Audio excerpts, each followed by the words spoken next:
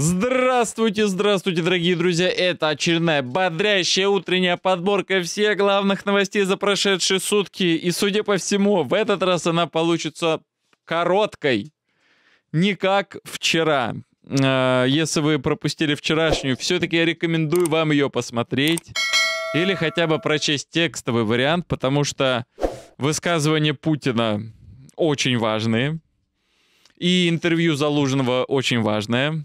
Отчасти мы будем сегодня это вспоминать. И в этом выпуске глобальные элиты делают ход. Пойдет ли Путин на условия Запада? Мощная атака беспилотников оставила половину Украины без света. Парагозину плачет скамья подсудимых. Может быть, поэтому он спрятался на фронте?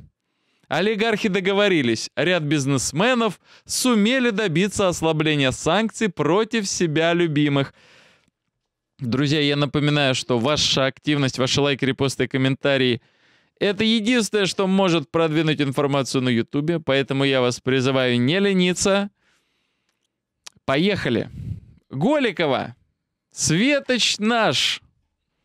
Татьяна Алексеевна заявила, смертность в РФ снизилась на 19% за 10 месяцев 2022 года. То есть у нас тут идет спецоперация. У нас тут сообщают о новой страшной вспышке ОРВИ гриппа, которые тоже через осложнение могут привести к серьезным последствиям. У нас кризис, на фоне которого дефицит ряда лекарств, в том числе лекарств для онкологических больных, о чем мы говорим уже не первую неделю. Татьяна Алексеевна говорит, что люди перестали умирать. Если люди ничего не будут жрать, у них не будет лекарств, отправить их в окопы, они становятся бессмертными. Примерно такую логику. Зачем я это сказал? Боже, они ведь сейчас возьмут на вооружение. И это станет нормой нашей жизни. Два документа появились резко после известного казуса с данными пользователей Московской электронной школы. Огромное количество персональных данных, телефона, адреса, электронной почты утекли в интернет. Появился, первое, проект закона об уголовной ответственности за кражу и публикацию такого рода данных. Пока что действует крайняя мера, это 100 тысяч рублей штрафа, что просто смешно. Взломаны данные нескольких миллионов человек, учителей, родителей, детей. Миллионы. Максимум, на что сейчас можно оштрафовать, 100 тысяч. Проект постановления правительства, предоставляющего право внеплановых проверок подобных инцидентов Роскомнадзору. Пока таких полномочий у надзорного ведомства, оказывается, не было, друзья. То есть блокировать либералов, блокировать коммунистов, блокировать ура-патриотов. Если они что-то не то говорят, можно. Блокировать людей, которые допускают утечки данных, как-то их за это штрафовать, прессовать, чтобы они это все исправляли, бить их в первую очередь по карману, бить их рублем? Нет, нет, нет, нет, Роскомнадзор не мог этим заниматься. И главный это вопрос. Так была это утечка или нет? Потому что официальные лица, Министерство цифрового развития, Максут Шадаев и Департамент Московский заявили, что никаких проблем не было, никакой утечки не было.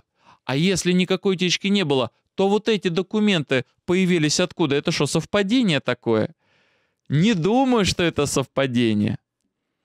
Выполняющие гособоронзаказ заводы Свердловской области, где находятся крупные предприятия Ростеха, Алмасантей и Роскосмоса, перешли на шестидневную рабочую неделю. Рабочий день сотрудников может быть увеличен до 12 часов сообщил председатель Федерации профсоюзов региона Андрей Ветлужских. Я, конечно, горд, что у нас пытаются как бы... Что пытаются? Что? Мобилизация элит не происходит. Мобилизация экономики не происходит. Мобилизация госаппарата не происходит. У нас мобилизация исключительно через простых людей, через простой народ. Вот мы чем можем скидываемся для фронта, мы чем можем там освещаем информацию, о которой государственные, официальные, бюджетные, я подчеркиваю, средства массовой информации помалкивают и так далее. У меня сразу в памяти всплывает знаменитая история, когда спутник должен был полететь, а оказалось, что туда датчик впихнули вверх ногами. И когда ракета пошла вверх, датчик решил вверх, он внизу. И она быстренько упала вниз. Это было как раз на предприятии Роскосмоса. Вот если сейчас люди будут работать 6 дней в неделю по 12 часов, ведь это же не двор мести. Это работа такая, серьезная. Какое число будет бракованных деталей? Сколько гиперзвуковых ракет полетит не в ту сторону? Например, не на Киев, а вот на Москву. Кто-то об этом вообще думает, о безопасности? о качестве. Знаете, они думают примерно как тот менеджер, который взял 9 женщин и говорит, рожайте ребенка через месяц.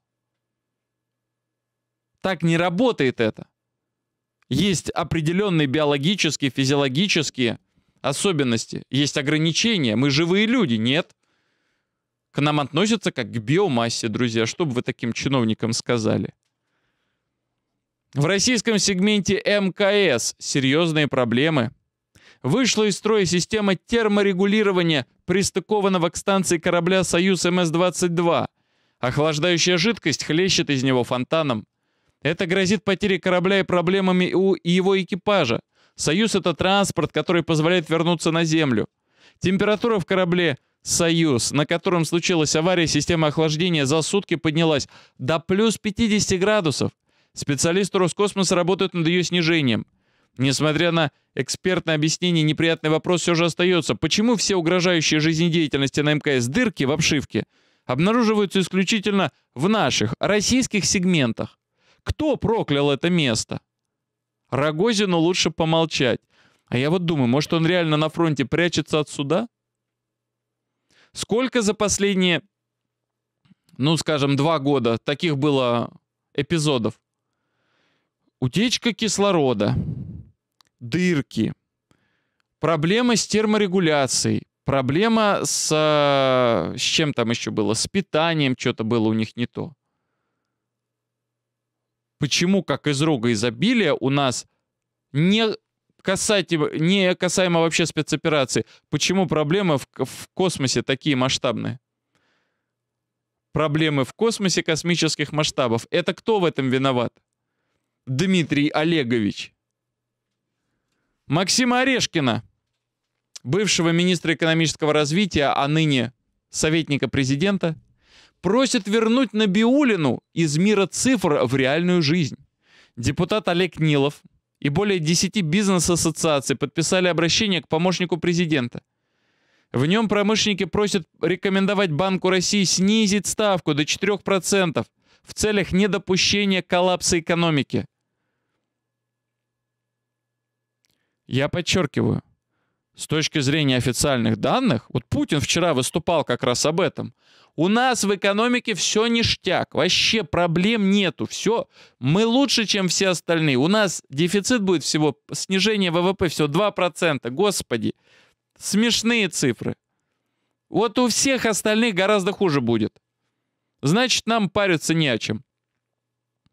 Сохранение на прежнем уровне ключевой ставки, а тем более дальнейшее повышение, вызовет только продуцирование дальнейшего удорожания кредитных ресурсов, сжигание спроса и спад производства, и в конечном итоге дальнейшее торможение экономического развития страны, говорится в обращении. Эльвира Сахибзадовна, может быть, хотя к ней обращаться, я думаю, нет никакого смысла. Ну что ж, они попытались обратиться к Орешкину, Посмотрим. Я думаю, что это ни к чему не приведет. Я думаю, Путин и Набиулина реально уверены, что все отлично, все хорошо. Ничего менять не надо, нужно гнуть эту линию, за которую они уже держатся. Отток валюты за рубеж не беспокоит Центробанк. Мы не считаем необходимым принимать какие-то специальные меры в связи с этим, заявила председатель ЦБ Эльвира Набиулина. Еще раз. Деньги утекают из страны. Нас это не волнует. Вы что, рехнулись, что ли? То есть, какие деньги вообще сейчас могут утекать из страны? Иностранцам, не резидентам, запрещено торговать на нашей бирже. Они регулярно раньше выводили деньги. Сейчас эта валюта остается в России. Как бы крупнейшие компании не торгуют. И если торгуют, то сырьем, то есть деньги приходят к нам в страну. Фактически, деньги, которые из страны утекают, это как раз деньги наших офшорников, мошенников, коррупционеров, которые имеют счета во всяких там Швейцариях, Кипрох, Каймановых островах и так далее, и вывозят награбленное. Набиулину это не, не беспокоит. Путин вчера, его цитата, «Запад развязал против нас экономическую войну», Набиулина говорит, да все нормально, что вы паритесь-то, все хорошо. Руководство платформы TikTok, принадлежащей китайской компании ByteDance, проводит массовые сокращения в российском офисе, рассказала, рассказали двое сотрудников, попросивших об анонимности. Один из них говорит, что уволили больше 400 человек. Второй источник не смог назвать точные данные, но подтвердил, что сегодня объявили о больших сокращениях. Уж казалось бы, TikTok — китайская платформа. Правда, потом оказалось, что ей руководят западные деятели, да, то есть TikTok разделен на чисто китайский и мировой. Китайцы руководят своими внутренними делами, все, что касается остальной планеты, руководит команда международных управленцев, и там есть даже всякие там отставные ЦРУшники и натовские военнослужащие, ну, то есть такие непростые ребята. И поэтому они на Россию плюнули. Причем была информация еще в начале августа – что к концу сентября ТикТок должны разблокировать на территории России. Сейчас загружать ТикТоки на территории России нельзя. Нет. Всем этим планам не суждено было сбыться. Ну вот, делайте выводы. Они просто валят из России. Apple покинет российский офис, расположенный в бизнес-центре Романов двор, недалеко от Кремля. Акции ВУШ это сервис по аренде самокатов на улицах. Во многих крупных городах появился. Когда ты гуляешь, или тебе куда-то надо, или ты, может быть, курьер, ты за какую-то небольшую денежку арендуешь этот э, самокат, едешь куда тебе надо, доезжаешь до следующей специальной зарядной станции, там его оставляешь, у тебя списывается денежка, идешь дальше. Это такая популярная трендовая история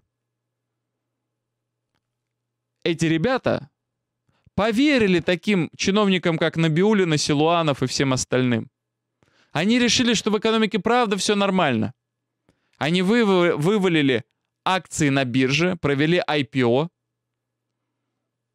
На третий день они обвалились уже на 25%.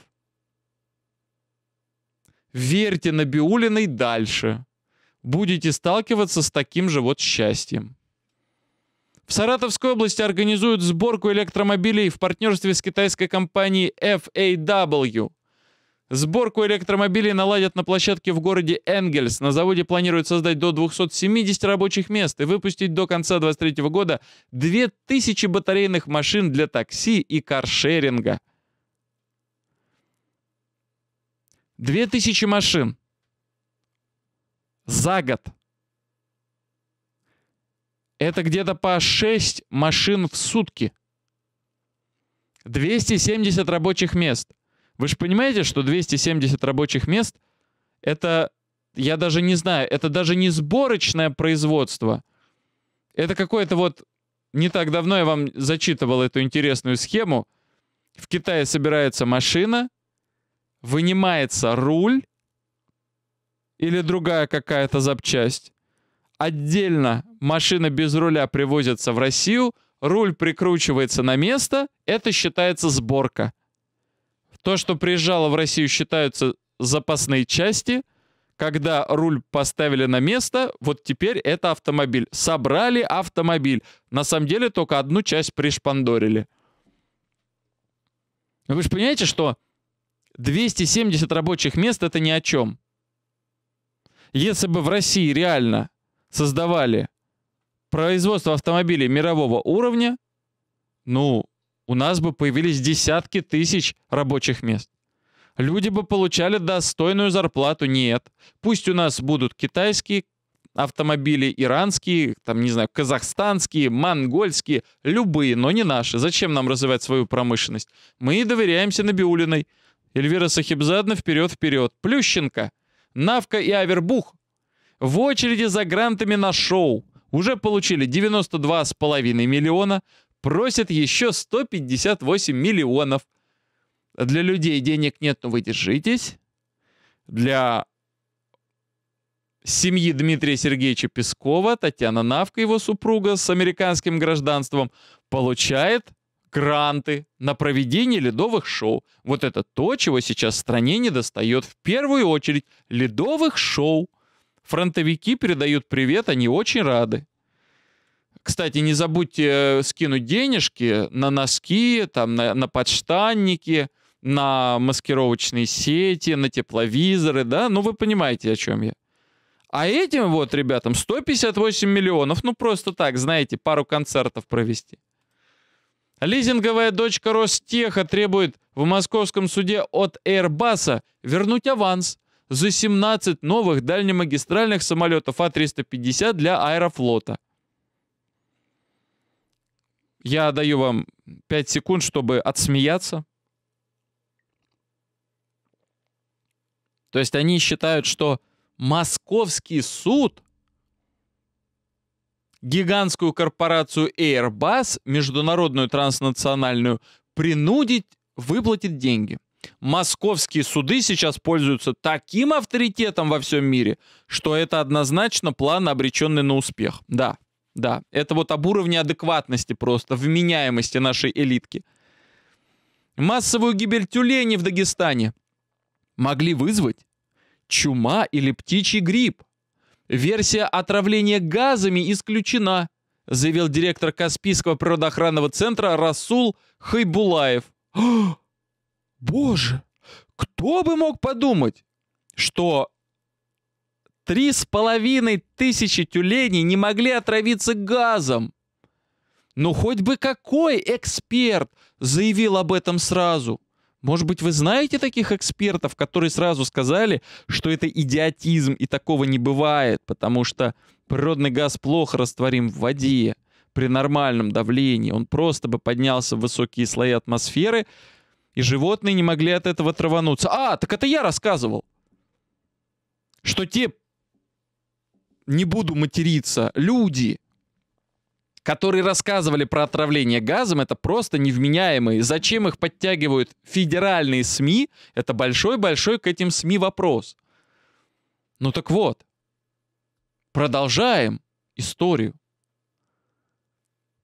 Чума или птичий грипп не могли вызвать одномоментную гибель такого бешеного числа млекопитающих. У всех эпидемий, эпизоотий, у них есть определенная динамика распространения. Ну, например, какой-то тюлень съел что-то не то, он заразился. Заразил своих сородичей. Через неделю их болеет уже 200. Еще через неделю их болеет уже 500, там, не знаю, там, 1000. Первые начинают умирать. Еще через неделю мертвых уже 200, еще через неделю мертвых уже 1000. Это все постепенно, чтобы они одномоментно все вдруг вышвырнуты были на берег. Ребята, я вас уверяю, они скрывают утечку каких-то особо опасных ядовитых соединений, токсинов.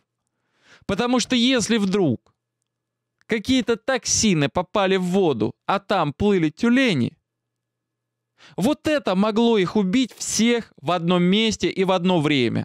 Не грипп и никакие не газы. Хватит жрать горох, а то ваши ассоциации с газами навевают подозрения. Кстати, если горох правильно отмочить, то никаких проблем с кишечником не будет. Погуглите в интернете, если не в курсе. В Челябинской области мужчина убил свою бывшую жену. Женщина четыре раза писала на него заявление в полицию, но правоохранители никак не реагировали. Практически каждый день происходят эти чудовищные трагедии, но девиз полиции неизменен. Когда убьют, тогда и разберемся. Вчера мы говорили о случае, когда сын убил мать. Полтора года женщина обращалась в полицию, игнор полный, убили. Муж убил бывшую жену. Четыре заявления было. Ой, милые бронятся, только тешатся. У нас другие заботы, нам надо навальнистов ловить. Мы еще не все ролики Платошкина в интернете отсмотрели. Вдруг там новый экстремизм. Подсадим, звездочки получим. О, хорошо. Когда убьют, тогда и приходите. Русал может предложить Потанину выкупить его долю в Норильском никеле. Это способно спасти компанию от западных санкций. Очень интересный оборот принимает история вокруг Потанина. Я напоминаю, есть две очень крупных корпорации. Никелевая Норникель и алюминиевая Русал, русский алюминий. Главный владелец Норникеля это Потанин, но какой-то частью акций владеет Дерипаска. В Русале наоборот. Главный владелец Дерипаска, но частью акций владеет Потанин. То есть у них давние отношения. И они из года в год спорят кому, сколько, когда, что платить, не платить, пускать деньги на развитие или перечислять на счет, дивиденды, вот это вот все у них вечные терки. И вот по Потанину наконец долбанули с санкциями. Тут важная поправочка. Норильский никель, производство именно никеля, оно настолько нужно и важно для Запада, что он под санкции не попал. Только Потанин и другие его активы, Росбанк, который он недавно купил, возможно, некоторые медийные его активы, что он какие-то там каналы покупал, телеграм-каналы, не помню. Так вот,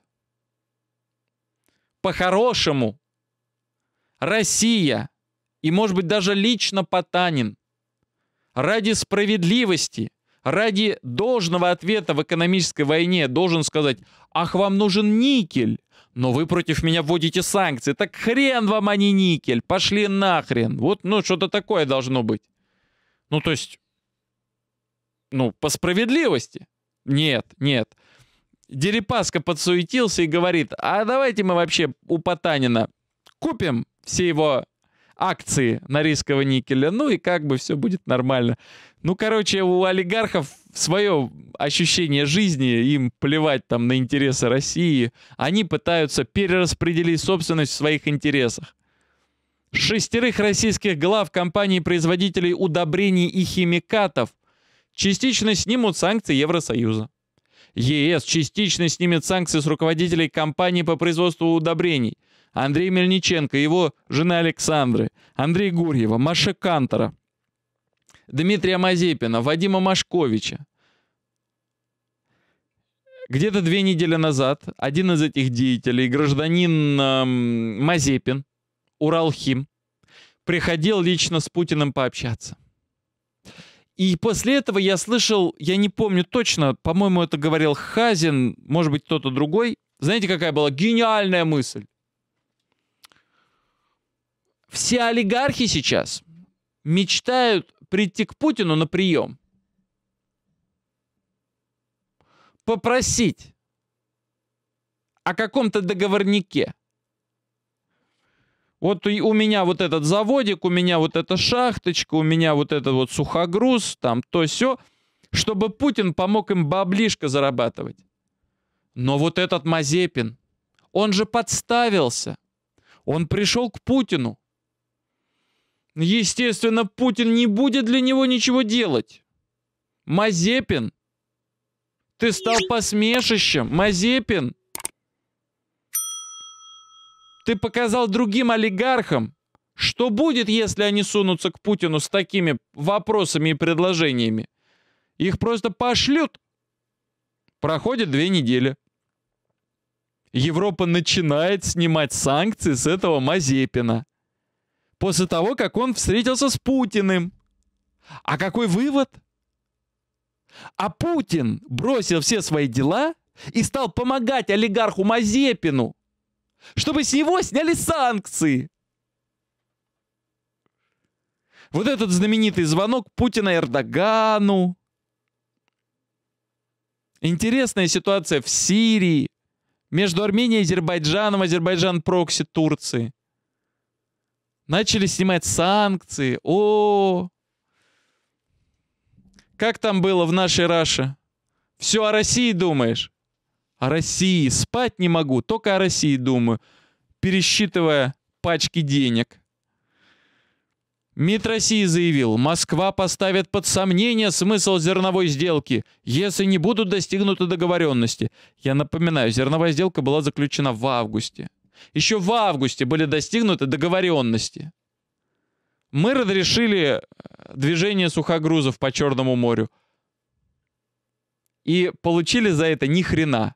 В итоге реальную выгоду за эту зерновую сделку получают российские олигархи. А что получают простые россияне? Хотя бы наш бюджет, в конце концов, вообще непонятно. Проблема дефицита сырья и компонентов для производства упаковки в индустрии напитков остается, сообщил президент Союз напитки Максим Новиков. Максим, ну, я не знаю, вы что, новости не читаете? У нас в России идет мусорная реформа. Самым масштабным активным образом перерабатывается мусор. Какие могут быть проблемы? Вы обращаетесь на эти перерабатывающие предприятия, и они вам дадут все, что надо.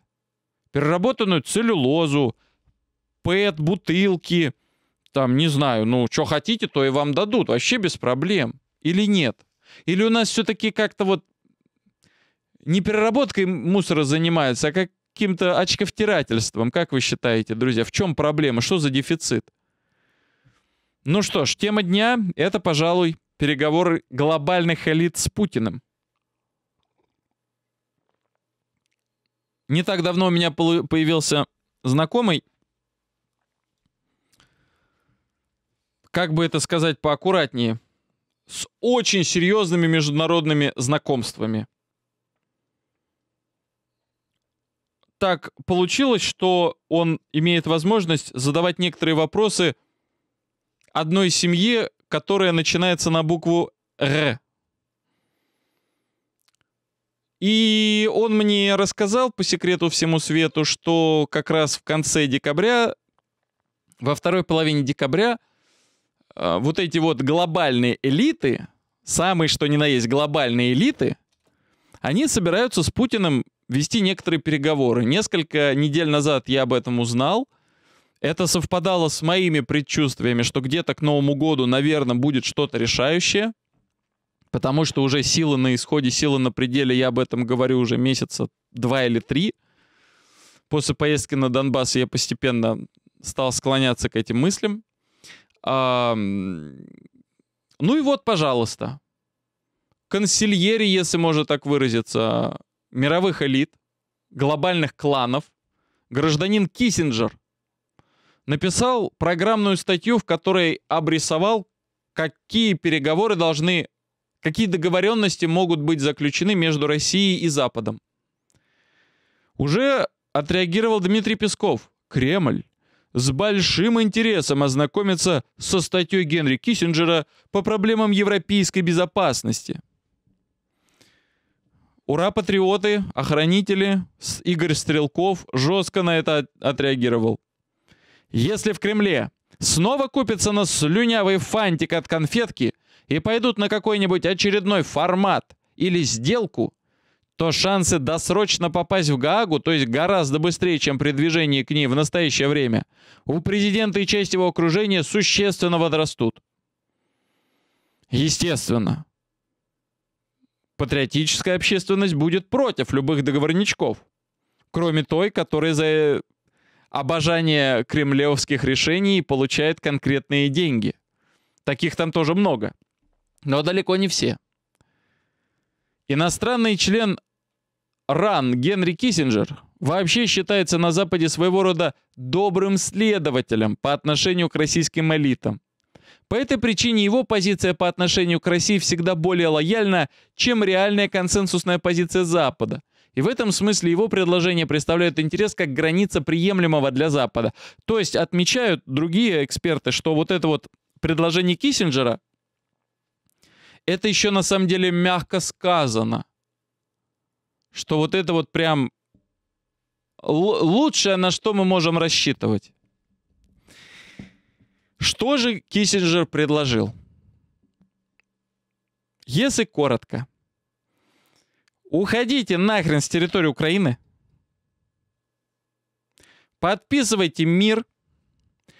Украина теперь может почувствовать себя в защищенности, в безопасности только когда войдет в НАТО. То есть история про демилитаризацию, внеблоковый статус полностью отвергается. Он прямо говорит, это время прошло, теперь Украина четко должна войти в НАТО или быть там ассоциированным каким-то членом НАТО. Все. Украина только вот часть Запада. Что касается Крыма, может быть, потом мы проведем референдумы под э, контролем международных наблюдателей. Это главные идеи статьи Киссинджера. Украина входит в НАТО, возвращает все свои территории, включая Крым. И, как многие отмечают, это еще лучшее, на что можно рассчитывать Путину. Как это можно понять, как это можно объяснить?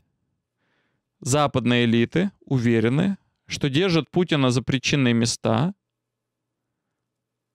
что ситуация абсолютно не в пользу России. А что же тогда худший вариант? Это развал России на части? Это полное разоружение России, лишение ядерного арсенала или что? Что это такое?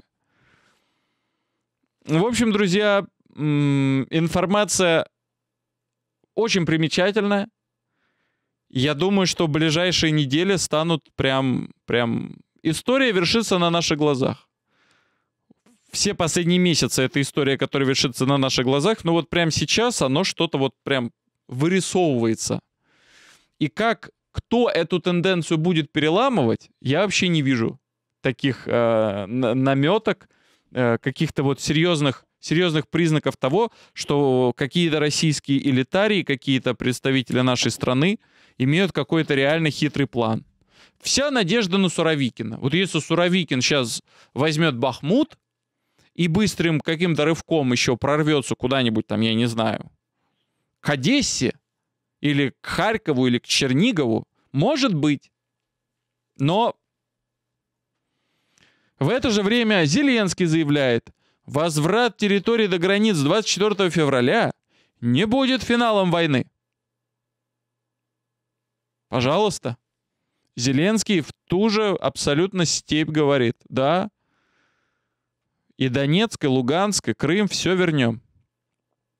Переговоров между Россией и Украиной может не быть еще несколько лет, а конфликт может быть заморожен. Издание «Политико» со ссылкой на западных чиновников. Вот это, кстати, было бы относительно приемлемым решением для России. Не для нашего народа и общества, но для политической тусовки. Заморозить конфликт. Если конфликт заморожен, стрельба прекратилась, наверное, какую-то частичку санкций снимут. Олигархи договорятся, чтобы именно с них какую-то часть санкций, самую для них важную, сняли – они аккуратненько будут переселяться в Дубае, на Мальдивы и в другие там замечательные места. Россия не будет отдавать никакие территории. Украина не признает, что она потеряла какие-то территории. Все продолжат готовиться к войне. Украина получит еще больше денег и вооружения. Значит, все международные бизнес-структуры, которые поставляют сейчас на Украину, они тоже получат больше денег. Короче, все в шоколаде. Заморозка конфликта — это то, что может стать нашей реальностью уже в самое ближайшее время. ФИФА отказалась транслировать обращение президента Украины Зеленского перед финалом чемпионата мира по футболу. В его офисе были удивлены полученным отказом, сообщил телеканал CNN. Сейчас посмотрим, сумеют ли американцы продавить а, ФИФУ. Но сам по себе жест показательный. Во-первых, ФИФА должна, вообще спорт должен дистанцироваться от политических вопросов. Ну и в конце концов, сколько может это Зеленский уже, где он только не выступал, уже всех достал на самом деле. Говорит одно и то же, просто дайте больше денег и все. Главнокомандующий ВСУ заявил, что из 76 запущенных сегодня по Украине русских ракет сбили 60. В то же время Укрэнерго объявила чрезвычайную ситуацию. В результате обстрелов произошла потеря более чем 50% потребления объединенной энергетической системы. Блэкаут, то есть вообще нет света. В Киеве, Полтаве, Харькове, Днепропетровске, Кривом Роге, Кременчуге. На днях была очень странная, маломощная, слабенькая э, атака геранями. Вообще не, не долгое довольно время герани исчезли и ими обстреливать перестали. Возможно, сейчас новая партия пришла запчастей из дружественного Ирана. Знаете эту историю.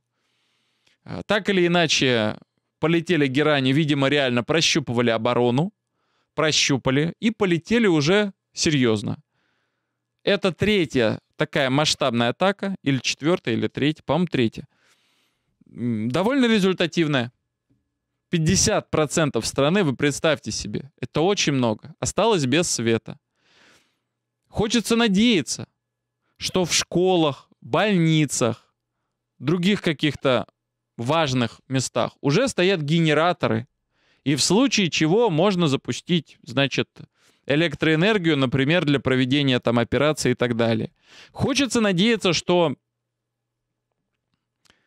генераторов не хватило на промышленные объекты, где создаются, там, чинится военная техника. Но что интересно, вновь свет пропадает в Молдавии и Румынии. То есть Украина даже сейчас, жалуясь всему миру, крокодиловыми слезами на самом деле, на то, что у них нет света, они продолжают продавать свой, свой свет в другие страны, в Молдавию, в Румынию.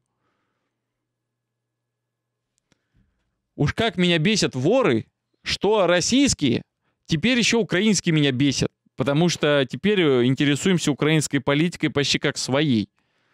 Опять же, в каждом ролике у нас первый раздел выверенная формула. Первый раздел — новости России, второй раздел — новости спецоперации Украины и соседних э, стран СНГ.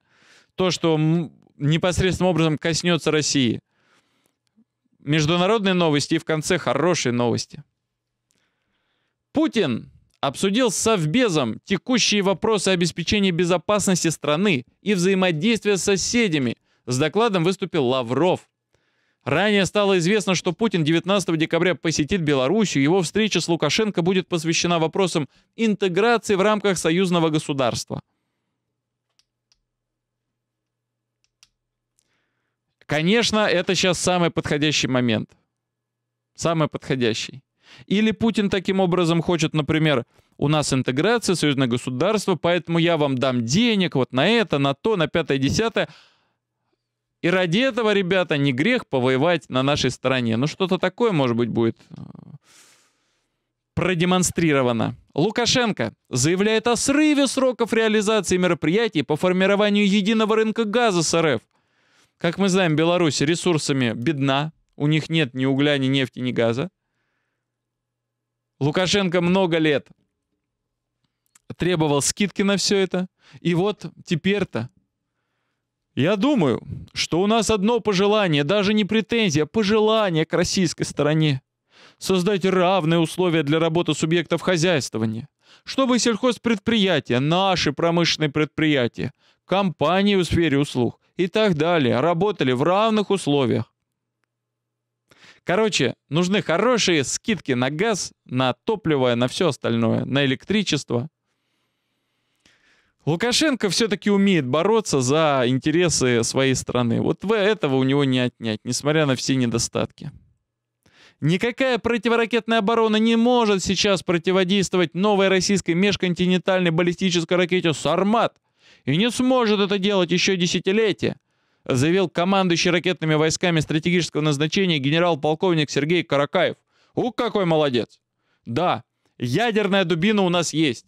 Сколько жизней на Украине эта ядерная дубина спасла? Ноль. Зачем мы об этом опять говорим постоянно? Напоминаем о собственной значимости.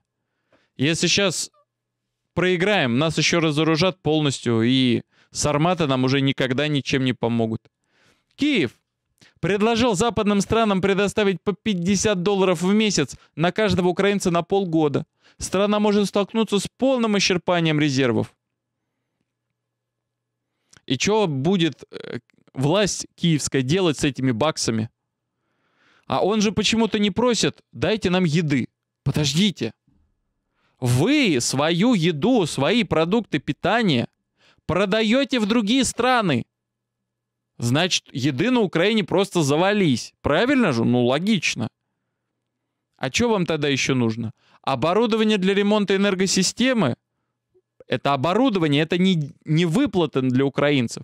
Раздавайте людям э, еду, раздавайте лекарства. Попроси лекарства Зеленский. Нет, он просит деньги. Зачем? Чтобы разворовать. Блин, ну это, это такой стыд. Я не могу. Евросоюз в этом году выделил Украине финансовую помощь почти 20 миллиардов евро и продолжит ее поддерживать так долго, как будет нужно, заявила Урсула фон дер Ляйен. Зеленский аплодирует. Евросоюз согласовал девятый пакет санкций в отношении России. А вот это для наших чиновников плохая новость. Кто бы мог подумать? Все-таки согласовали пакеты санкций. Еще вчера не смогли согласовать, сегодня уже согласовали. Санкции расширены на около 200 россиян и продукцию двойного назначения. То есть, в принципе, ничего нового. Но красивый жест. Новые санкции. Новые санкции. В принципе, все санкции, которые не могли ввести, они, судя по всему, уже ввели. Русские хакеры добрались до ФБР. Кибербойцы взломали более 10 тысяч аккаунтов сотрудников американского бюро. Хакеры Killnet получили доступ к личным данным 10 210 агентов ФБР. У меня вопрос. Зачем, а главное, нахрена? Это как понимать? Нам ФБРовцы чем мешают? Ну, ФБРовцы, ну понятно, в любой организации есть разные люди. Есть мрази и не мрази. ФБРовцы, которые там двойные агенты, рассекречивают наркоторговцев, нелегальных торговцев оружием каких-нибудь. Сейчас их благодаря этому сливу вычислят и поубивают. Кому от этого хорошо? Кому вы сделали этим хорошо?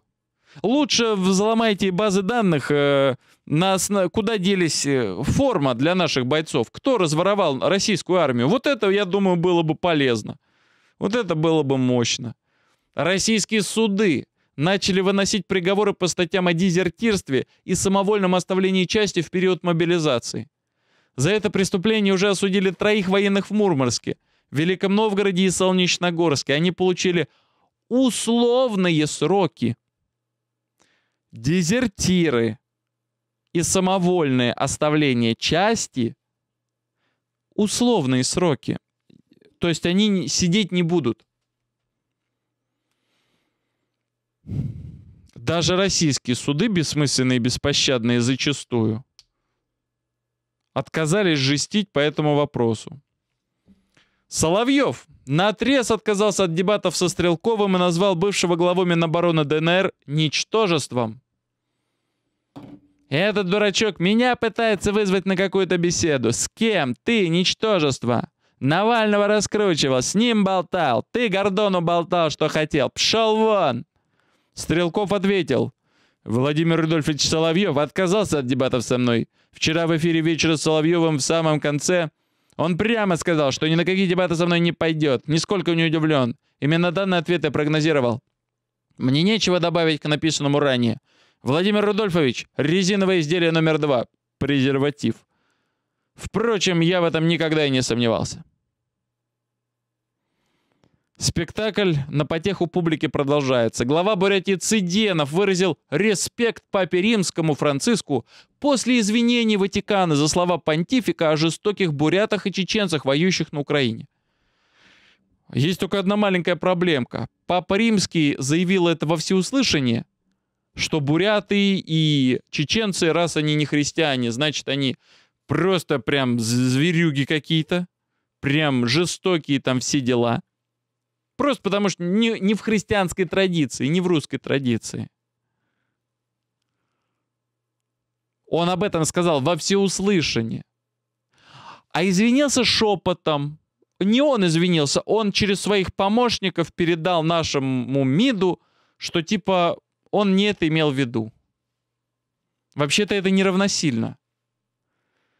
Центральноафриканской республике пытались убить руководителя культурного центра «Русский дом» Дмитрия Сытова. Прислали посылку с бомбой, он тяжело ранен, контужен. Напомню, за последний месяц истории с посылками входят в какой-то нехороший тренд. Прис... Э, вчера взорвалась в Польше э, ракетная установка, гранатомет, который был подарен украинцами. До этого в течение нескольких недель приходили загадочные органы животных, окровавленные европейским политикам. Девять человек ранены в результате взрыва бомбы в турецком городе Диярбакыр. Там, скорее всего, мощно готовятся к наземной наступательной операции в Сирии, спецоперации. Генассамблея ООН приняла резолюцию, российскую резолюцию по борьбе с, геро... с героизацией нацизма. За проголосовали 120 стран, против 50, воздержались 10. Почти все европейские страны, что маленькие Словении, Словакии, что большие, там Америка, Канада, Германия, Франция, все против. Но большинство все-таки за российскую резолюцию. Несколько месяцев назад Россия пыталась предложить резолюцию по борьбе с героизацией нацизма ее отклонили. Эту хотя бы приняли. Успех. В чем разница между первой и второй? Скорее всего, что-то связанное с Украиной. С 1 января соцвыплаты в Москве проиндексируют на 10%. Минимальный размер пенсии с городской доплатой в Москве, друзья, пенсионеры, держитесь. Минимальный, понимаете, минимальный размер пенсии в Москве 23 313 рублей. Напишите в комментариях, вы и ваши родители, какую пенсию получаете. Какой регион? Там Воронеж 13 тысяч. Чебоксары 15 тысяч. Нарьянмар 9 500. Напишите, сколько вы получаете в месяц пенсию. Интересно сравнить с московской. Военный суд арестовал бывшего помощника московского городского военного прокурора по безопасности Игоря Почапского – который по версии следствия являлся участником ОПГ, похитивший более 45 земель обороны и безопасности в Подмосковье и Новой Москве. Фантастика. Они нашли, кто разворовывал земли безопасности и обороны. Это вам не шутки шутить. Россиян уже завтра начнут штрафовать за счета в швейцарских банках. Шикарная новость. Из перечня стран, с которыми РФ обменивается налоговой информацией, 16 декабря исключат Швейцарию и Каймановые острова. Зачисления валюты на швейцарские банковские счета будут считаться незаконными. Штраф от 20 до 40% от суммы операции. Нововведения касаются только личных счетов физлиц. Круто, очень круто, штрафуйте всех, не хрен из России вывозить бабки. Я с Набиулиной не согласен. По итогам конференции в Президиуме Российской Академии Наук Российские ученые установили биофизический механизм действия нового класса отечественных лекарственных препаратов. Я не совсем уверен, что это хорошая новость. Вроде как они доказали эффективность фуфломицина эргоферон, теперь это не фуфломицин. Подождем обзоров от наших экспертов в, сфере здравоохранения и фармацевтики, но тем не менее, друзья, Звучит хорошо, ставьте лайки, пишите комментарии. Отбираю для вас все главное каждый день. Надеюсь на вашу активность. Берегите себя и своих близких. Всех вам благ.